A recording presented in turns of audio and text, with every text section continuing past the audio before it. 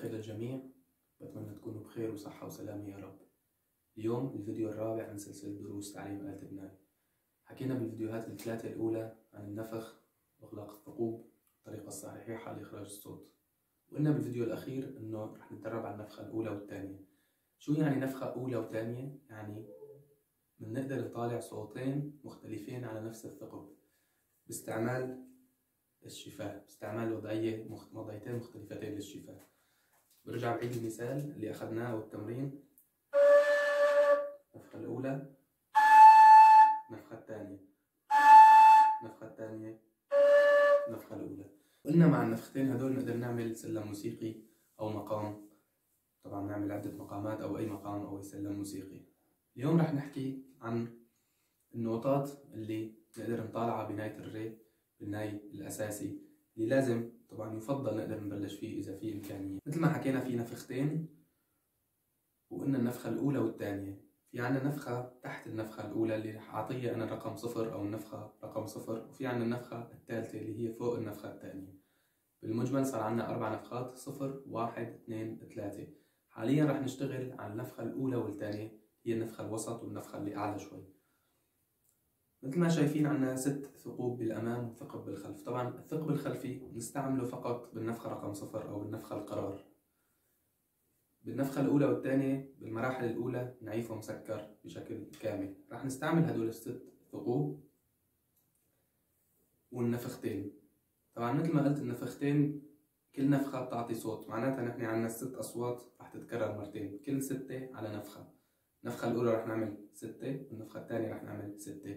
فبيصير عنا المجموع 12 شو هي العلامات اللي نقدر نطالعها بنهاية الري رح رقم الثقوب وبتمنى أنتم تكتبوا بالطريقة اللي بتناسبكم والشخص اللي ما رح يقدر أو ممكن ما يستوعب كفاية ممكن يبعث لي أو يرسل لي وأنا رح أبعث له النوتات اللي نقدر نطالعها بنهاية الري بس أنا بتمنى بفضل حسب وجهة نظري الشخص اللي بيتعلم يكتب بالطريقة اللي بتناسبه. فأنا رح أشرح لكم الموضوع بقدر الإمكان ببساطة وراح أعيده مرتين.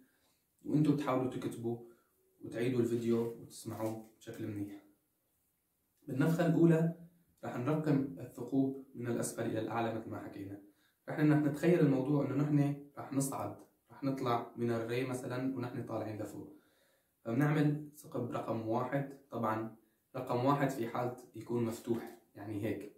هذا واحد اثنين ثلاثة أربعة خمسة ستة. نقدر نعمل ست. أصوات كل صوت على ثقب رح نتخيل إنه نحن لازم نطلع أكتر لفوق لازم يكون عنا ثقوب أكتر هون. طبعا ما عنا لذلك نحن نرجع الثقب رقم واحد ورح نعطيه رقم سبعة لأنه رح ننتقل للنفخة رقم اثنين. النفخة اثنين بصير هذا رقم سبعة يعني على النفخة الأولى واحد اثنين ثلاثة أربعة خمسة ستة وبس انتقلنا للنفخة الثانية هاد بيصير رقم سبعة بدل واحد. سبعة ثمانية تسعة عشرة إحداش اثناش نقدر نطالع اثناش صوت أو اثناش نوتة موسيقية مختلفة بالنفختين وقت رح ننزل طبعا مثل ما قلنا بننزل بنبلش بالنفخة الثانية. اثناش إحداش عشرة تسعة ثمانية سبعة. ننتقل للنفخة الأولى ستة خمسة أربعة ثلاثة اثنين واحد. ببقى عنا صوتين هن في وضعية الإغلاق الكامل للثقوب وقت بنسكر كل الثقوب بننفخ طبعا رح نعطي رقم صفر بحالتنا على النفخة الأولى ورقم ستة على النفخة الثانية. ليش رقم ستة على النفخة الثانية؟ لأنه وقت بنسكر كل شيء وننفخ بالنفخة الثانية بيعطينا نفس الصوت اللي بنطالعه وقت بنفتح الثقب رقم ستة. رح فرجيكم كيف؟ هذا على النفخة الأولى. صوت كمان صور على النفخة الثانية وهي نقطة نظام عابرة طريقة لفحص الناي. لازم وقت ننفخ كل شي مسكر على النفخة الثانية وننفخ بالثقب رقم ستة على النفخة الأولى لازم يعطينا صول كمان. فهدول الصولتين أو هدول العلامتين الصول لازم يكونوا متماثلات تماما قدر الإمكان. إذا كان في فرق واضح فمعناته الناي مش صحيحة. هي أحد الطرق لنفحص الناي إذا جيدة صالحة ولا لا. رح أرجع أعيد رح نحكي بس بلغة الأرقام حاليا. طبعا بفترات متقدمة رح نحكي بأسماء العلامات الشرقية إنه هي ري وهي مي وإلى آخره. بس هذا بس شرح شوي نظري. واحد اثنين ثلاثة أربعة خمسة ستة. على النفخة الأولى. وقت بنقول سبعة أوتوماتيك لازم نعرف إنه نحن صرنا بالنفخة الثانية لأنه هذا بحت... أي ثقب بيحتمل خيارين لأنه عنا نفختين. يا واحد يا سبعة. يا اثنين يا ثمانية. يا ثلاثة يا تسعة وإلى آخره. يعني يا على النفخة الأولى يا على النفخة الثانية. هلأ العلامات اللي رح نطالعها بالثقوب رح حط الرقم وجنبه العلامة اللي بيطالع على العلامة الموسيقية. طبعا أنتم لازم تكتبوا هذا الشيء على ورقة تحاولوا تراجعوها وتحفظوها كثير منيح لأنه كثير رح نستعملها لاحقا. ثقب رقم واحد طبعا برجع بسكر وقت بقول واحد في حالة ثقب مفتوح هيك. يعطي علامة الري. كمان نحن بنسمي الناي بصوت أو بالعلامة اللي بتطالع وقت ننفخ ثقب رقم واحد. وقت نعزف ثقب رقم واحد العلامة اللي بتطلع هو اسم الناي. إذا عم بيطلع ري فنحن ري إذا عم بيطلع مي فنحن بنهاية المي وإلى آخره.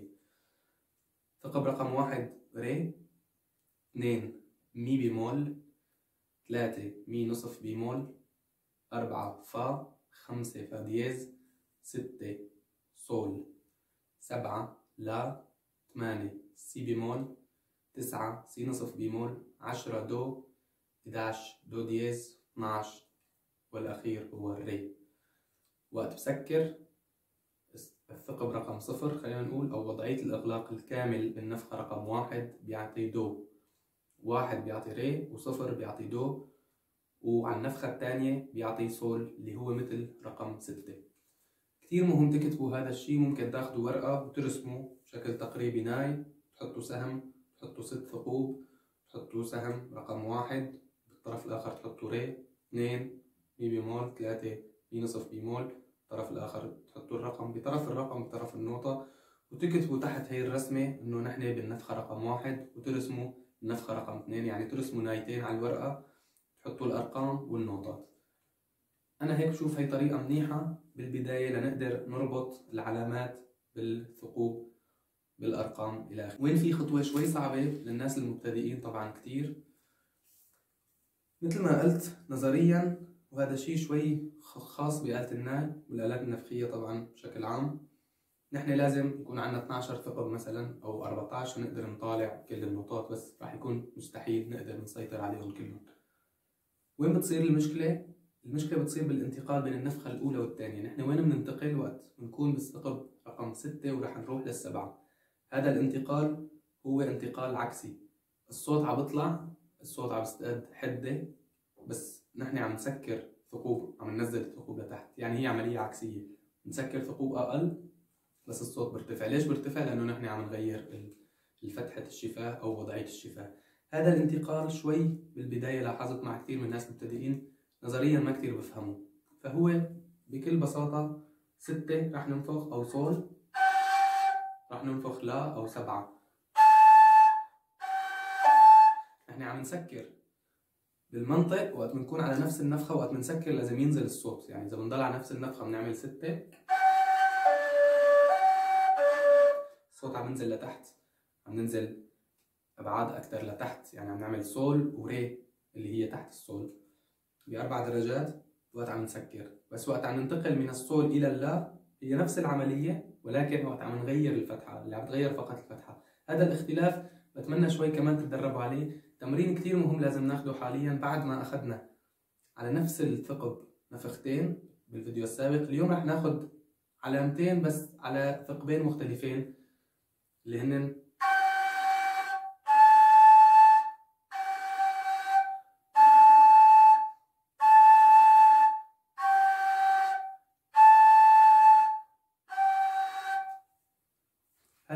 كتير مهم. الدرس اليوم شوي نظري أكثر ما هو عملي بس هو كتير منيح بيحضرنا بشكل جيد لنقدر نبلش بطريقة جيدة.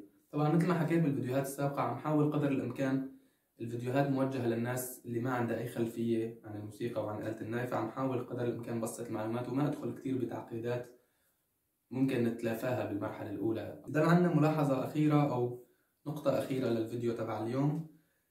مثل ما حكينا العلامات راح أعيدهم سريعا ري مي بيمول مي نصف بيمول فا فا دييز سول لا سي بيمول سي نصف بيمول دو دو دييز ري هدول العلامات اللي بنطلعهم في حالة فتح الثقب بشكل كامل.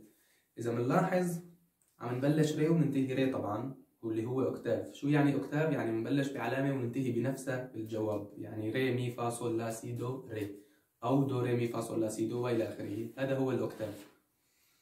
في علامات غير موجودة إذا لاحظنا بنهاية الري اللي هي عنا ري وعنا مي بيمول ومي نصف بيمول بس ما عنا مي naturel أو مي بيكار عنا فا فا دييز سول عنا لا سي بيمول سي نصف بيمول وما عنا سي naturel أو سي بيكار عنا دو دو دييز وري المي بيمول هي طبعا لازم تقع هون بين المي نصف بيمول والفا. نستعمل أنصاف الثقوب. رح نحكي فيهم لاحقا بس حبيت بس نوه إذا حدا سأل إنه وين المي نصف وين المي naturel والسي naturel أو المي بيكار والسي بيكار هن علامات موجودة ولكن لازم نحتال عليهم لنقدر نطالع لازم نعمل طريقة أصعب من الطريقة الاعتيادية. يعني ما نفتح ثقب بشكل كامل نفتحه بنصف فتحة أو عن طريق النفس أو عن طريق حرف الناي. رح نحكي عن هالأشياء لاحقا. بتمنى تكونوا استفدتوا وما تنسوا دائما تبعتوا لي أي سؤال بتحبوه وبتمنى مثل ما قلت تكتبوا هي العلامات على ورقة تحاولوا تراجعوها وترددوها وتطبقوها وتربطوها براسكم بين الآلة والأصابع. لنقدر بالفيديو القادم إن شاء الله رح نبلش بالمقامات ونحكي عن المقام والأجناس الموسيقية وناخذ مقام البيات إن شاء الله. وبتمنى تكونوا استفدتوا منيح بهذا الفيديو. لا تنسوا الاشتراك بالقناة وتفعيل زر الجرس وتدعموني باللايك. لا أقدر أتابع معكم إن شاء الله. تبقوا بخير وإلى اللقاء.